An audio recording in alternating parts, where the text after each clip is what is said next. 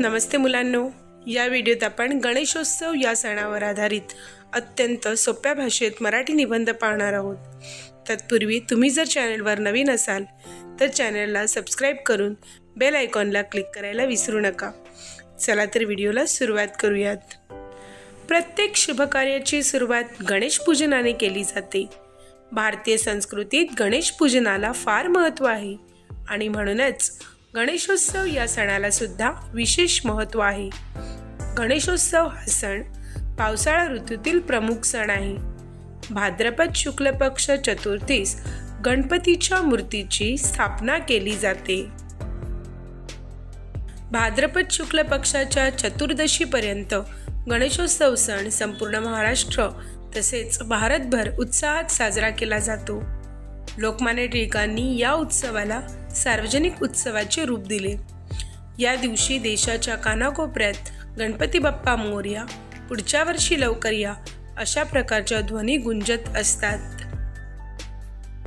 भारत स्वतंत्रता लढाईमध्ये सर्व जनतेला एकत्र करण्याचा लोकमान्य टिळकांचा उद्देश होता.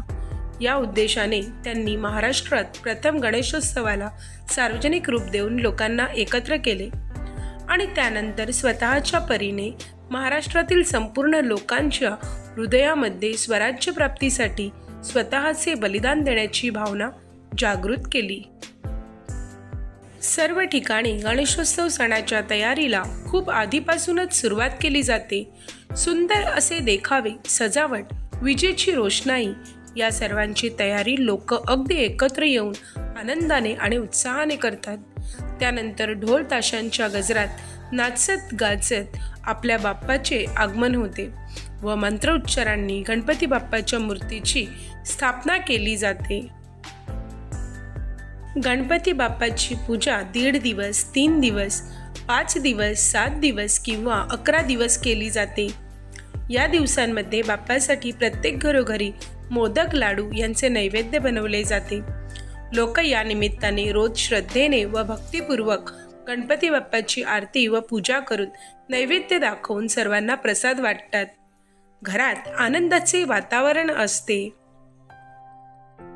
जसे गणपती बाप्पाच्या मूर्तीचे आगमन होते त्याच उत्साहात व आनंदात ढोल ताशांच्या गजरात टाळ मृदुंगाच्या तालात बाप्पाचे विसर्जन सुद्धा केले जाते. गणपती बाप्पा मोरया पुढच्या वर्षी लवकर या अशी प्रार्थना करून बाप्पांचा निरोप घेतात. व्हिडिओ आवडल्यास व्हिडिओला लाईक शेअर व सबस्क्राईब करून बेल आयकॉनला क्लिक करायला विसरू नका. व्हिडिओ कसा वाटला हे मला कॉमेंट्समध्ये नक्की कळवा. धन्यवाद.